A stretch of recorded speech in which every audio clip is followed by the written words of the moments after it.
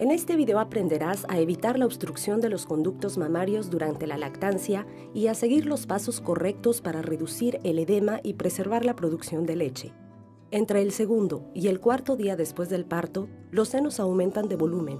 A este momento se le conoce como la bajada. Antes de dar el pecho, aplica gasas calientes y húmedas sobre tus pechos o dúchate con agua caliente.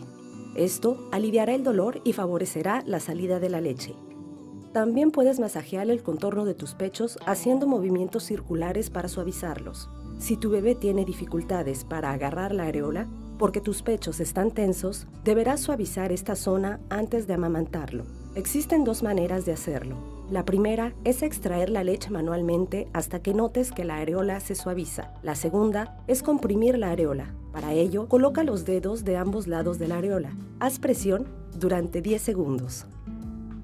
Repite este gesto varias veces desplazando los dedos de modo que comprimas toda la zona de la areola. Cuando termines de dar el pecho, haz lo contrario. Aplica frío u hojas de coliflor como anestesia para el dolor.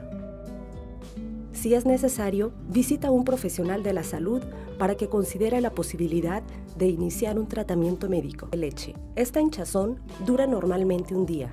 En ocasiones las cosas se complican, los senos duelen, se ponen edematosos, rojos y brillantes.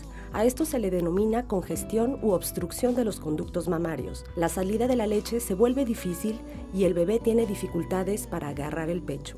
Para evitar esta situación, tienes que vaciar los pechos regularmente.